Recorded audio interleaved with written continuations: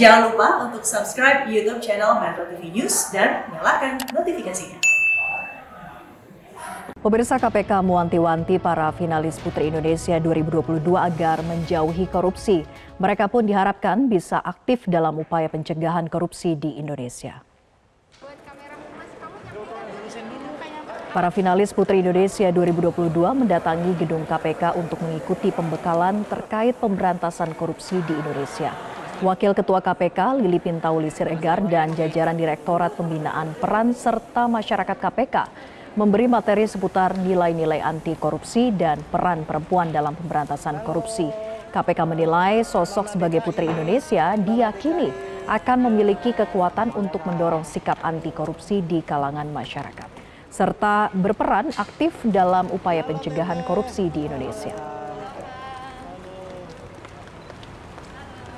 Kita